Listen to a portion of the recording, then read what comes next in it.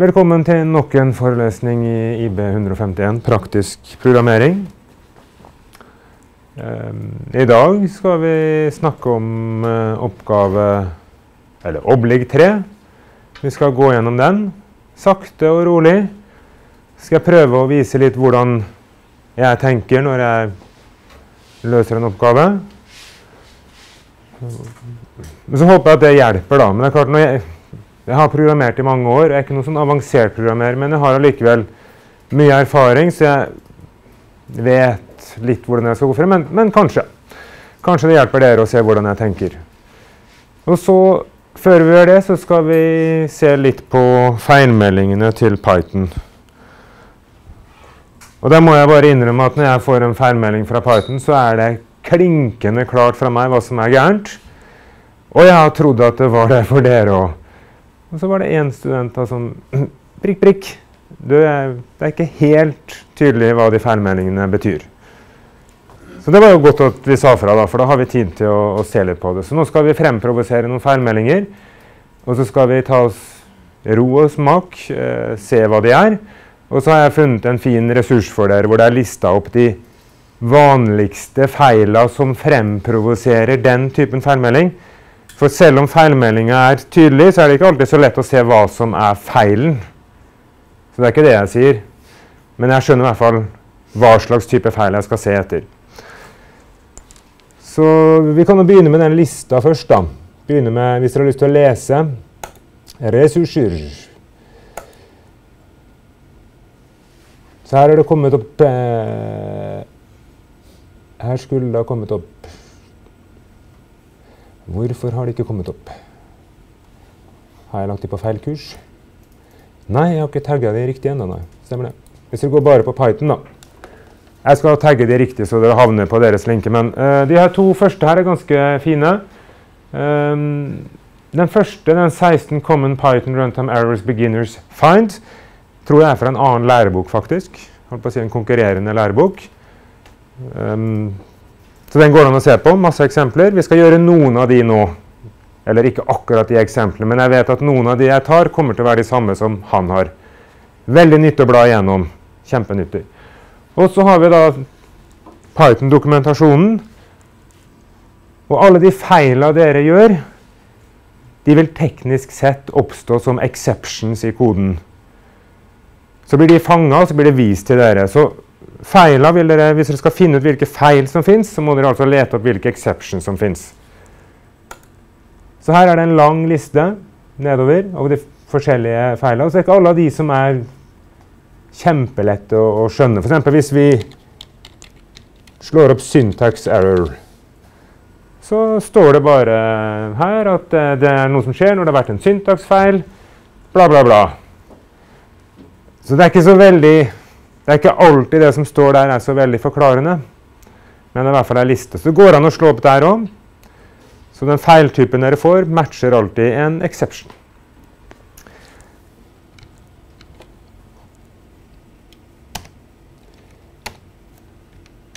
Så la oss begynne med den der. Vi ser om vi klarer å få noe feilmelding på, på den. Dere ser umiddelbart at det mangler en parentes. Og gudene vet hva slags feil vi får.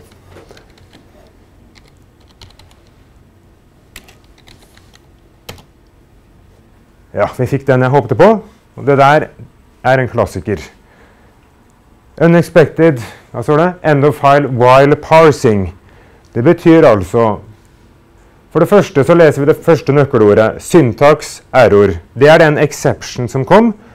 Og det betyr rett og slett at det er en feil i syntaksen i koden vår. En eller annen feil som bryter med standarden for språket. Veldig generelt. Det kan være utrolig mye forskjellig. Og så er det å begynne å lese videre. Unexpected end of file while parsing. Så uventa ja. Og så er det noen da som allerede ikke visste at EOF var end of file. Og det er jo ikke så rart, men det er i hvert fall standard forkortelsen. Så sånn sett har vi lært det òg. Så det har kommet en uventa slutt på fila mens vi tolka skriptet ditt. Så mens den prøvde å finne ut hva koden din betydde, så var plutselig fila slutt. Og den feilen der den oppstår nesten alltid når dere har en parentes som mangler. En sluttparentes som mangler. Hvor den mangler, kan være litt slitsomt å finne ut. Så eksempelet her så var det lett, for det, kom helt på, det var helt åpenbart hvor det var. Men hvis du har en kode med masse parenteser Line 2. Så her var det ikke så mye. Men hvis du Skal vi se. Hei Så kjører vi koden en gang til. Ja, så var vi heldige her at jeg insisterer han fortsatt på line 2. For at den ser at det er syntaksfeil allerede der. Men sånn er det ikke alltid at den klarer å fange det opp. Ok, Så det er min favoritt. Glem en parentes og få uh, Ja, men Der fikk vi en annen feilmelding. Følger vi ikke med, eller? Jo, for her får vi en annen feilmelding fordi at det plutselig kommer et, en ny funksjonskall før den forrige er avslutta. Og vi ser også at markøren er på en annen sted. Der var den der, mens der var den på ei tom linje. Så de er ikke helt like, de der to. Men jeg hopper nå tilbake til den første, bare for å få den en gang til.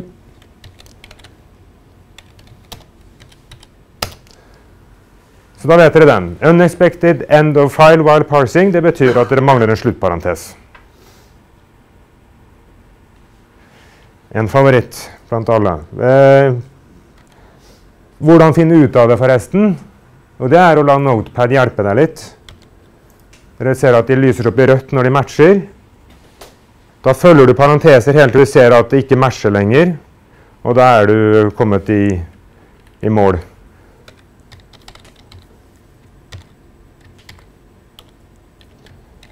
Skal vi se Ja.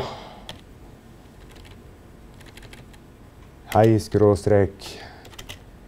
Eller ja. Så her, Den der er fort gjort å gjøre, ikke sant? men her ser du at den, den første parentesen din den har, ingen, den har ikke noe rødfarge. Den blir ikke rød før du hiver på den, den neste.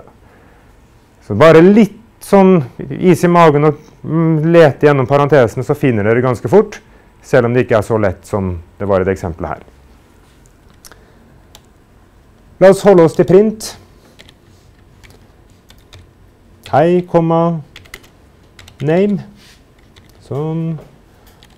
Og så må vi ha name er lik Hans. Og noen av dere ser feilen allerede, ikke sant? For jeg har skrevet name med og uten e. Ja. Og da får dere name error. Så exception du får, det er name error, altså en navnefeil. Og siden det er en navnefeil, så vet du at det er navnet enten på en variabel, eller det kunne vært en funksjon. Men da tror jeg kanskje vi får en annen feilmengde. Det må vi prøve etterpå. Men det er altså en variabel du har brukt, som ikke ble funnet. Og så står det hva den variabelen er, at det er navnet name, som ikke er definert. Relativt klart. Det betyr altså at du har brukt en variabel som ikke fins. Og så er det da bare å finne ut hva slags slurvefeil du har gjort. Og det får du ikke så mye hjelp til. For det står bare akkurat hvor feilen var. Så feilen var på linje 2, men min feil var jo egentlig en slurvefeil på linja før. Hvis vi hopper tilbake til koden, så ser vi at feilen oppstår der, mens den logiske feilen jeg har gjort som programmerer, er på linja før, at jeg har glemt en E der. Men dere kunne jo selvfølgelig ha fiksa det ved at dere brukte NAM begge plasser. Det hadde jo også gått fint.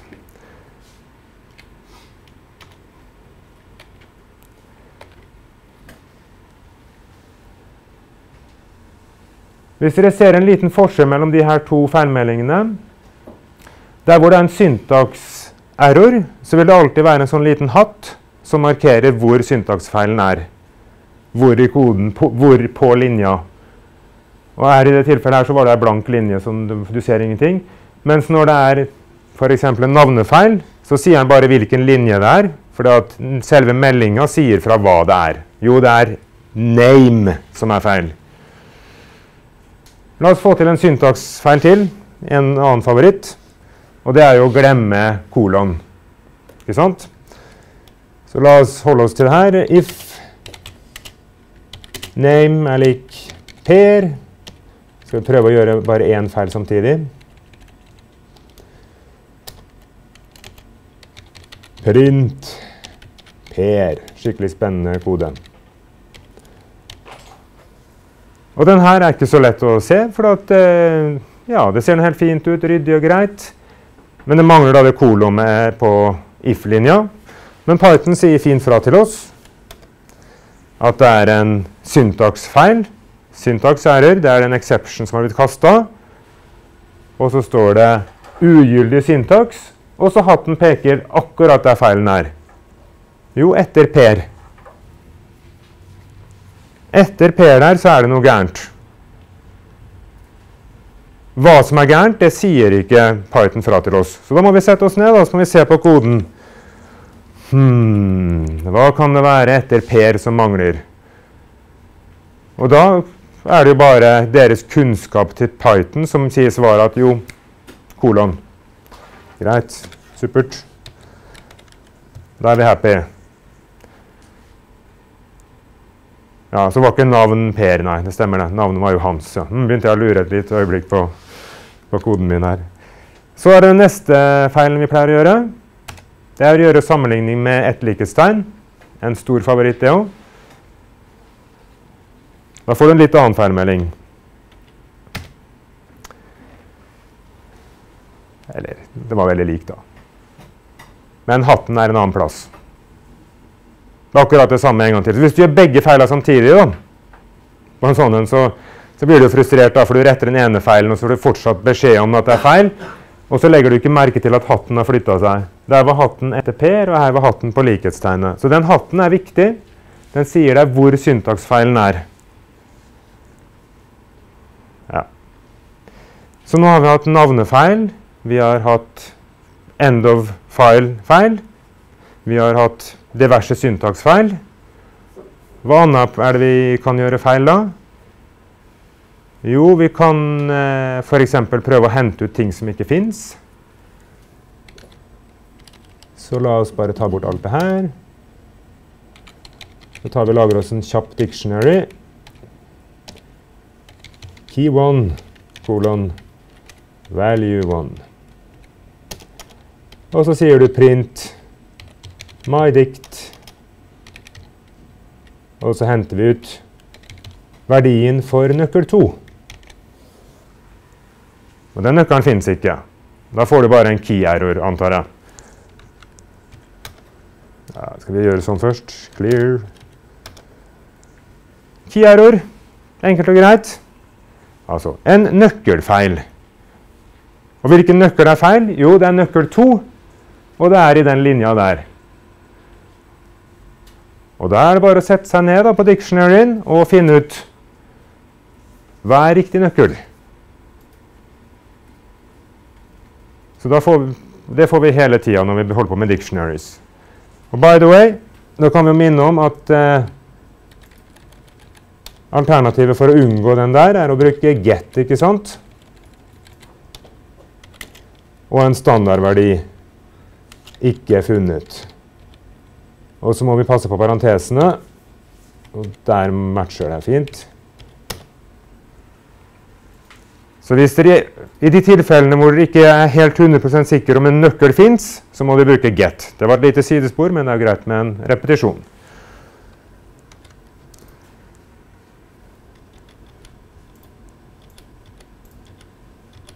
Sånn. Der har vi altså brukt en nøkkel som ikke fins. Har vi noen andre sånne? Jo, vi har indeksfeil. Da skal vi ta en uh, mylist som inneholder vi Hva er det du pleier å ha da? 1, 2 og 5, kanskje? Mylist på plass 3. Den finnes jo ikke, for vi begynner jo på null, så vi har definert 0, 1 og 2, men den tredje der, den, den finnes ikke, og da får vi en indekserror. Så indekserror, en indeksfeil, bare for å oversette enda en gang, så er det en standardmelding 'list index out of range', som rett og slett betyr du har gått lenger enn det du har verdier til. Så har, det er Det der er ikke så vanlig hvis man bruker for-løkka sånn som du gjør i Python, men i andre språk hvor du bruker ei for-løkke hvor du løper fra i lik 1 til 10, som er lengden på lista osv., så, videre, så skjer det der hele tida. Skal vi se om vi klarer å provosere frem en, en litt mindre obvious feil. For i in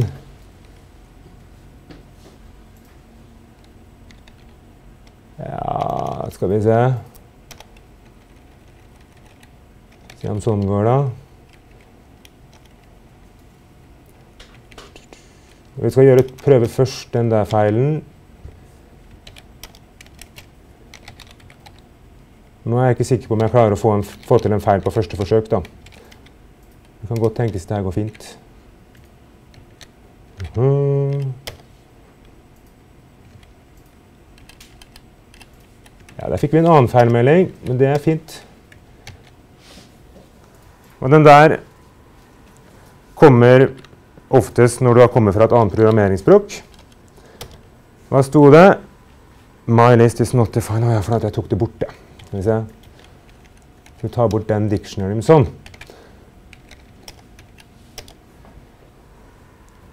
Så her sier han altså at det er en type error. Ja, Den type erroren finnes det flere av. Det betyr rett og slett at vi gjør noe Altså variabelen vår har en gitt type. Den er et heltall eller en streng eller en float eller et eller annet. Og så prøver vi å bruke den i en sammenheng hvor den typen ikke er lov. Og Her står det litt sånn mystisk, og det var egentlig bedre feilmelding enn jeg håpte på, at int object is not iterable. Er den helt åpenbar for alle sammen? Nei, den er litt tøff. Hva er det vi prøver å si i koden, da? Jo, vi prøver vel egentlig å si at vi skal gå fra null til lengden av arrayet og printe ut verdien. Og det ser jo egentlig litt sånn tilforlatelig ut, for det står jo 'leng' som gir deg lengden av, av lista di. Men det vi må huske, det er at det som er forløkket skal løpe over Unnskyld. Det går bra. Det er noe som det går an å iterere over. Altså Det går an å hente ut neste og neste og neste verdi. I ei liste ikke sant, så starter du på begynnelsen, og så henter du ut neste verdi og neste verdi og neste verdi. I en dictionary så gjør du det samme. Du begynner på en nøkkel, og så henter du ut neste verdi og neste verdi og neste verdi. Og det gjør du med alle andre ting òg. Og Det er derfor du får denne litt sånn rare feilmeldinga om at den er ikke iterable. Det er fordi at et heltall ja, Når du har bare et heltall, tallet 6, hva er det neste da? da? Nei, Det er jo ingenting neste, for det er bare et heltall. Har du ei liste, så kan du be om det neste tallet. Du kan iterere gjennom lista. Så det betyr rett og slett at det du prøver å putte inn der, går det ikke an å iterere over. Så da vet jo dere som har programmert litt, at det her er jo rett og slett så lett som å bare si sånn. Ikke sant?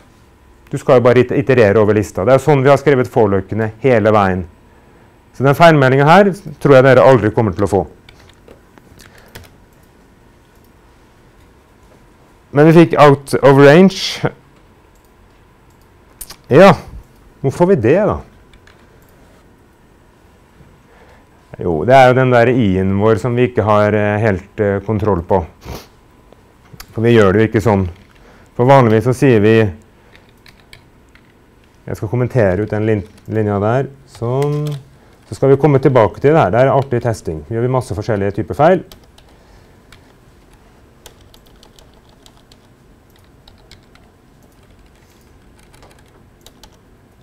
Vanligvis er det jo sånn vi gjør det. ikke sant?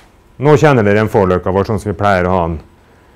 At for et eller annet som er i ei liste, så skal vi gjøre en operasjon. Gjenta det hele tida. Så nå kommer vi bare til å skrive ut 1, 2, 5. Da gikk det helt fint. Mens noen ganger, noen få ganger, så er det sånn at vi er ute etter indeksen. Altså hvilken posisjon er det i. At det er i nullte posisjon og i første posisjon. Og, så og da er det vi begynner å bruke denne i-en. Og da er det vi bruker range, husker dere? Og da kan det bli sånn som det her hvis man har lyst, og da stemmer det sannsynligvis.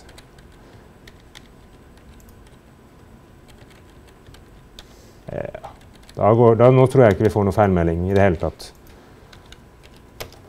Gikk det helt supert. Men vi skulle gjerne skrevet ut den i-en i tillegg, da. I, komma, kolon, komma, sånn. Ja. Det er veldig bra. Så indeksen og tall. Altså sånn funker det. Men vanligvis så gjør vi jo ikke det der. Men det er Nå må dere stoppe meg når dere ikke er enig. Det er jo denne konstruksjonen her som gjorde at du får den feilen som noen av og til gjør, da, at de glemmer å bruke range. Og så sier de sånn som uh, det der, da. Jeg tviler på at dere noen gang kommer til å gjøre det. Men hvis dere prøver å gjøre det, da får dere tilbake den her uh, not iterable-beskjeden, som er litt mystisk. Men bare husk det her konseptet med forløket som løper over en mengde med ting hvor du kan be om den neste og den neste og den neste. Dere kan iterere over den. Og et heltall så kan dere ikke det.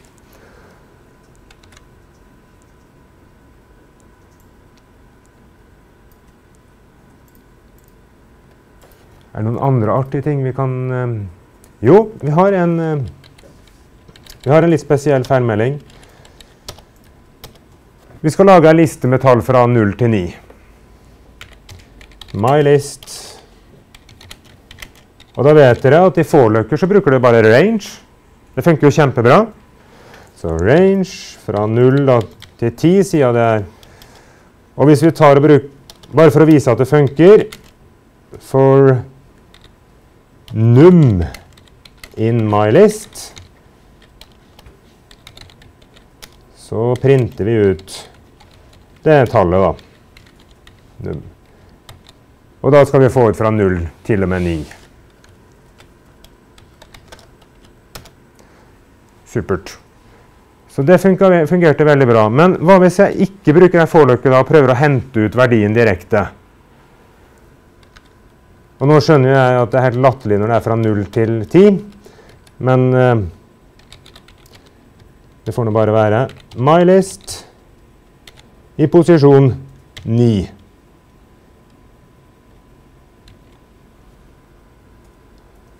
Ja.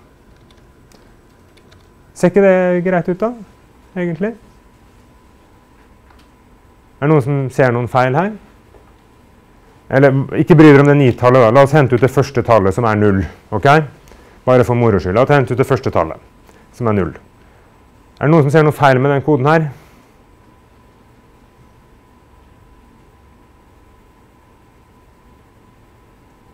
Nei. Nei, ikke heller. Eller jo, jeg vet det er en feil, men jeg ser ikke noe Men jeg har lært at det er en feil der. Og så funka det. Nei, det var litt overraskende. Mm. Jeg har gjerne lyst til å ha en feil der, jeg, da. Prøve én, da. Hvis det også funker, så blir jeg litt sur. Ja, der ble jeg sur. Det er lov til å ta feil. Ja, Men da var vi heldige, da. Ja. La oss prøve en annen variant, da. Jeg tror jeg vet hva som foregår. Så la oss gjøre noe annet, da. Så nå har vi henta ut verdien 1, og det gikk fint. Nå har vi så lyst til å endre den til 111, da. Nå, da. Det ser jo veldig likt ut i den forrige koden, gjør det ikke det? Bare at istedenfor å bruke en verdi, så prøver vi å endre den. Og logisk sett, så i mine ører, så burde det der gå like bra. Men der kom den jeg håpte på. Okay, så Den kom på et annet sted enn jeg håpte på, men greit nok. Den, og den her er også veldig spesiell.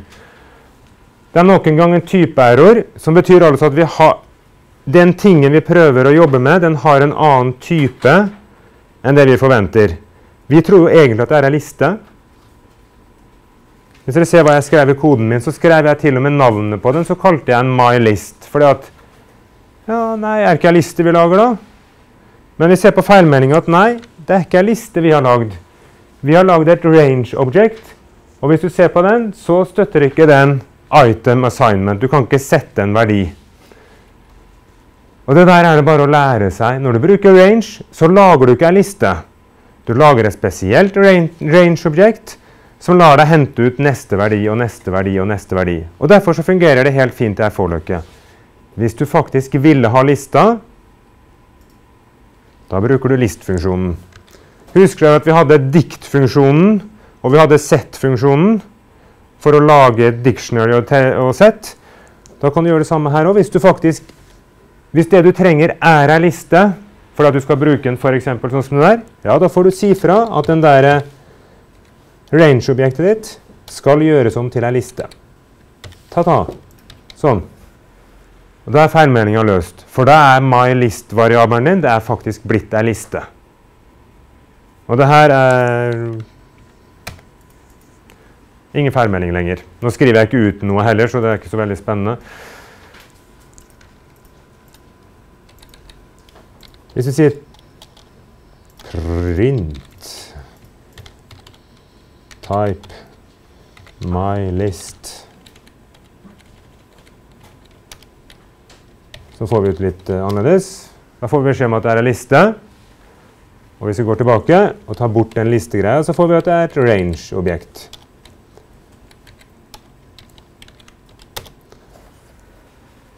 Så, så, bare vær klar over da, at denne range-funksjonen den fungerer uten problemer når du bruker det i forløkke. Men prøver du å lage ei liste som du skal bruke seinere til å endre på, så må du altså bruke list-funksjonen for å gjøre det om til ei liste. Hvis ikke så får du den beskjeden om at det her er, det er ikke ei liste, det er et range-objekt. Ok, La oss ta et par til da, før vi tar uh, løsninga på overliggen. La oss lage en um, tuppel. My tuppel.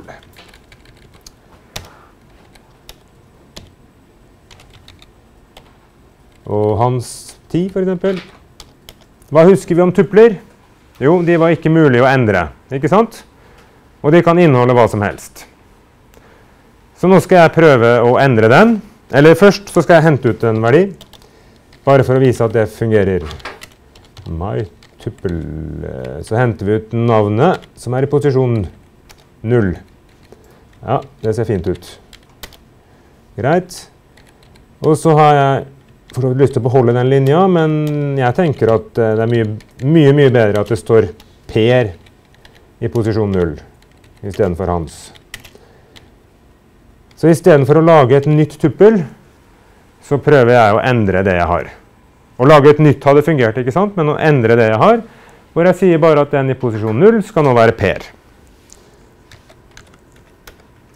Og Da får du den der. Nok en gang en typefeil, og så er det bare å lese seg gjennom Objektet tuppel does not support item assignment. Det betyr rett og slett at du kan ikke gå inn i et tuppel og endre verdier inni det. Det går ikke an. Ferdig med det. Og da er det, Når man får denne feilmeldinga her, does not support item assignment, så er det bare å huske at ok, det er når jeg prøver å endre noe i et eller annet som ikke er tillatt å endre. Og det er klart Hvis man da ikke husker at tuppel har den egenskapen, så må man slå opp litt i læreboka igjen og lese og sånn. Hvor, å ja, det er derfor. For hvis du gjør det med ei liste, så går det helt fint. Hvis jeg for moro skyld nå fortsetter å kalle variabelen min for mytuppel, men gjør det om til ei liste ved å bruke sånne, så går det helt fint. Det er rett og slett fordi at det var et tuppel. Og Det samme fungerer med en streng òg. Tekststreng den kan heller ikke endres. Hvis du har en tekststreng har lyst til å endre en tegn i en gitt posisjon, så går ikke det så bra. La oss gjøre det bare én gang. My.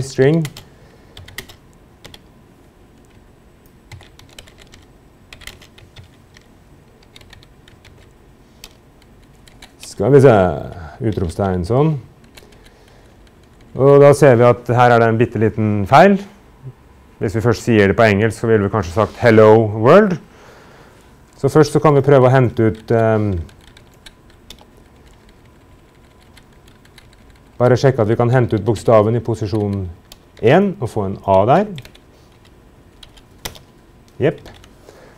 Det var dere ikke kanskje klar over, at når dere har en tekststreng, så kan dere hente ut enkeltbokstaver, akkurat sånn som dere kan i en liste, bare ved å gi indeksen. Så i posisjon 0 der har vi H-en, i posisjon 1 så har vi A-en, i posisjon 2 så har vi L-en. Ja, dere skjønner poenget. Så dere kan hente ut enkeltbokstaver. Men hvis dere nå har lyst til å fikse da, skrivefeilen, så hadde det jo vært veldig, veldig deilig å kunne gjort sånn som det her. MyString1 er lik E, sånn som vi hadde fått Hello World, sånn som vi har lyst til å ha. Men da får du nok en gang denne feilmeldinga med item assignment, fordi at en tekststreng kan ikke endres. Punktum. Og ferdig med det. String object does not support item assignment. Nok en gang så er det en ting som ikke kan endres. Og i andre programmeringsspråk så går det der helt fint, men altså ikke i Python. Så da må vi bare huske det. At det er det det betyr. At du har nå prøvd å endre en tekststreng som ikke kan endres. Hvordan fikser vi det der, da, hvis vi har lyst til å rette på det? Nei, Det er faktisk ikke så lett. Det er overra overraskende vanskelig. Um, men du må rett og slett begynne å plukke ut de bitene du vil ha. Du kan jo prøve å gjøre det rett, da. Så da må du rett og slett lage Så jeg, selv om jeg sier mystring her nå, det samme variabelnavnet, så blir det altså en ny tekststreng som vi lager, for vi har ikke lov til å endre. Så jeg har lyst til å beholde den første bokstaven. Så det blir mystring 0. Og så legger vi til en A. Og så legger vi til resten. MyString fra og med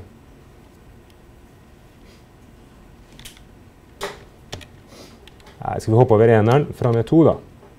Må det vel bli. Se om det stenger. Vi tar altså plukker ut den første bokstaven, og så tar vi putter inn en A, og så plukker vi ut resten av tekststrengen. Da tror jeg at vi får med alle L-ene og Hello World.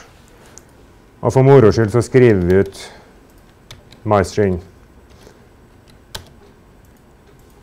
Uh, har jeg glemt å Jeg hadde den linja der fortsatt, ja. Den skulle vekk. Sånn. Hello World. Så det var faktisk litt tungvint, det. Å bytte ut én bokstav inn i en tekststreng. Det er ikke så veldig effektivt. Det som dere ikke har lært om, det er regulære uttrykk, hvor vi kunne ha gjort det her på en helt annen måte. For da. Det er ikke så ofte du trenger å bytte ut én bokstav inn i en tekstring. Er det noen andre feil som dere har fått som vi ikke har tatt så langt? Ja, kjempebra. Veldig, veldig bra, for den er også en klassiker. Skal vi se. La oss bare si if true print 1. Og så Nei, skal vi se Sånn Print sånn. Ja, la oss nøye oss med den først. Og Den der er ofte litt vanskelig å spore opp. Men nå så dere veldig tydelig at det ble feil. Men det står altså 'indentation error'. Så oversetter vi 'innrykksfeil'. Og så står det rett og slett 'unexpected indent'. I dette tilfellet her så betyr det altså at det er et innrykk som den ikke forventa. Mer innrykk enn den forventa, faktisk. Og det kommer altså Når skjer det? Jo, der ser du nok en gang at hatten står akkurat der det skjedde. Så det var på linje 5, og når vi skrev print 2. Ah, ja. Så det har faktisk noe å si, det der innrykksgreiene. Yes, it does. Det må være like med innrykk hele tida, og med samme type innrykk. Så hvis du setter inn en tab, så det ser ut som like mye Nå skal jeg faktisk ta og åpne den fila her i Notepad++, for det er lettere å gjøre feilen. For jeg har, det jeg har gjort med Nei, jeg skal åpne i Notepad. Det jeg har gjort med Notepad++, husker dere helt i begynnelsen, så sa jeg at tab skulle byttes ut med spaces. Så dermed så kan jeg ikke gjøre den feilen jeg skal gjøre nå i Notepad. Men vi gjør den en gang, bare for å vise den. Skal vi se no, no, no. Der vi min feil. Hvis jeg tar bare open, da Da kjørte den selvfølgelig, ja. Typisk. Uh, open with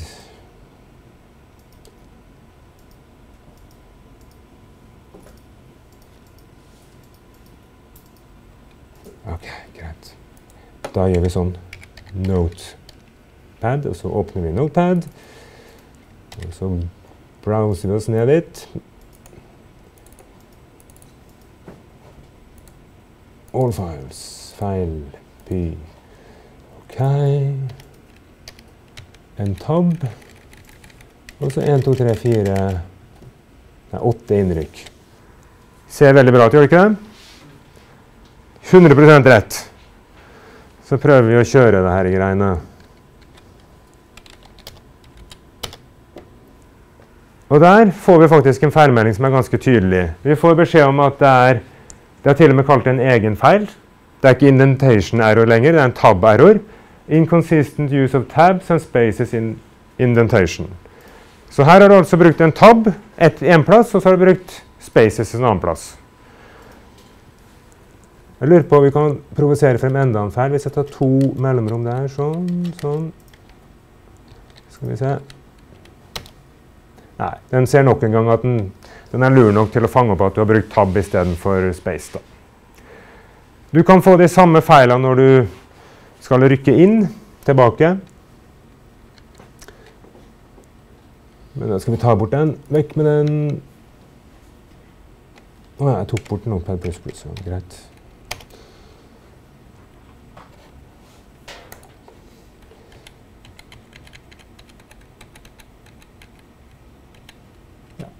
Sånn. Nå er det helt supert og fint.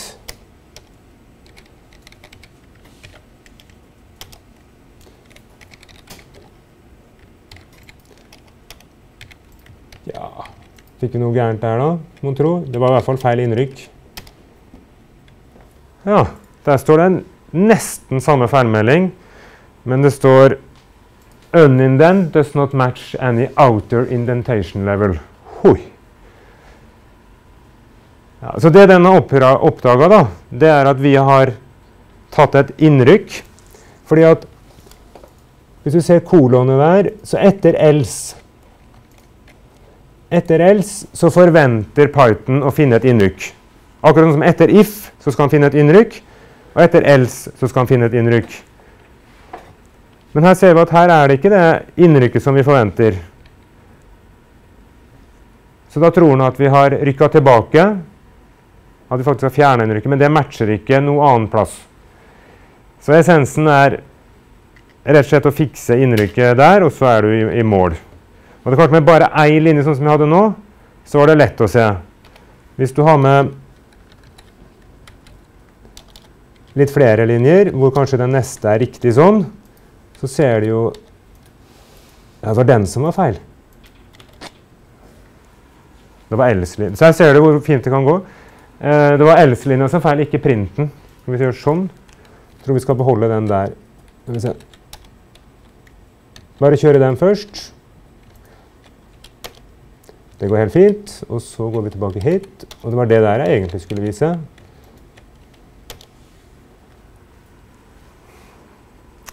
Det var den jeg egentlig skulle vise. da. Nå fikk vi to feilmeldinger på en gang.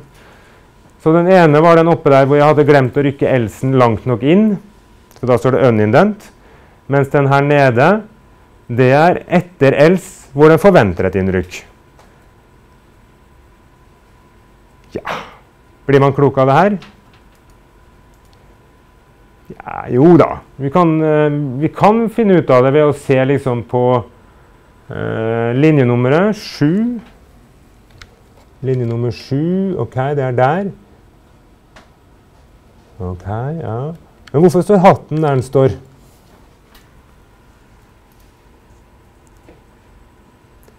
Hvorfor står ikke hatten på begynnelsen av linja, eller hvorfor står den ikke etter sluttparentesen? eller noe sånt? For jeg syns den hatten er mer forvirrende enn Ja? Kanskje så langt bort den skal lykkes? Nei da, det, ja, det hadde vært et kjempebra forslag. Det hadde vært way to go, Python. Men så enkelt er det ikke. Nei, det er rett og slett så langt den kom før den skjønte at det var gærent. Altså Der har han sett at det var en funksjon. Når han kom dit, da oppdaga han feilen. Så for å vite hvor feilen egentlig er, så må du gå til starten av det ordet den peker til slutten av. så når feilen er på T-en her, så er feilen da i print. Og stedet du har gjort feilen, er rett før print starta. La meg lage et eksempel til av samme type.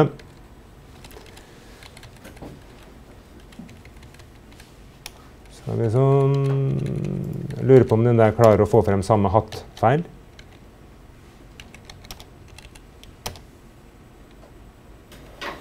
Nei. Hvis vi gjør sånn, da Der har vi den. Vi skal, vi skal ta de der to Skal Sånn. Lagrer vi der. Hvis vi kjører den, så får vi som forventa at hatten er der. Og vi skjønner at det mangler det kolonet, kolonet bak. Hvis vi setter det på samme linje Og det vet vi jo egentlig i Python er helt feil. For i Python så skal alltid etter en if så skal det være en ny blokk med innrykk. Men tenk deg at du kommer fra et annet programmeringsspråk hvor det der hadde gått helt fint.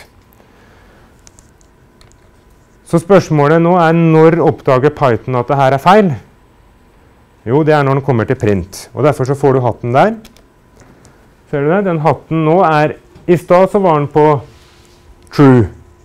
For da så den at det var et innrykk, så den skjønte at ok, det mangla kolonne. Men nå får du det på T-en på print, altså den siste bokstaven i ordet. Og da betyr det at feilen skjedde før det ordet. Det jeg prøver å si er at Den der hatten den hjelper dere ganske mye, men av og til så kan den være litt forvirrende fordi den kommer i slutten av ordet istedenfor i begynnelsen av ordet der faktisk feilen ble begått. Så feilen i de to eksemplene her er jo essensielt den samme, at det mangler et semikolon. Unnskyld, et kolon. Men hvis vi setter inn det kolonet, så får vi en ny feilmelding, fordi da får vi sikkert beskjed om at det mangler et innrykk. For det skal være et linjeskift her i, i tillegg. La oss prøve for moro skyld. Det gikk det fint. Men hvis du hiver på ei linje til, så funker det ikke. For da, når du ikke grupperer, grupperer, det sammen. Så det dere så der, det skal dere ikke bry dere om. Vi skal alltid gjøre sånn. ok? Ikke tenk på at det går an av og til på ei linje. Never ever. Alltid innrykk og en ny blokk når dere har if. Jeg tror vi har tatt de fleste feilene, altså. Men eh, som sagt Den der eh, 16 vanlige feil, der er det eh, ja, kanskje noen flere. Jeg tror vi har tatt, jeg tror vi har tatt alle. Men hvis, ikke, okay, hvis, det kommer en ny feilmelding da, som dere ikke skjønner, så spør en medelev, medstudent heter det forresten, eller spør meg, eller spør en hjelpelærer. For vi, vi må nesten skjønne feilmeldingene, hvis ikke så kommer vi ikke videre. Vi må lære oss det òg. Og det tok jo altfor lang tid. Men jeg håper det hjelper. Så kan dere se det her om og om igjen når opptaket ligger ute. Og se meg bli overraska over ting som fungerer når det ikke skal fungere, og andre ganger blir det feil. Ja, tar vi, vi, tar en pause før vi går gjennom omliggen. Helt åpenbart. Nå er vi tett i huet.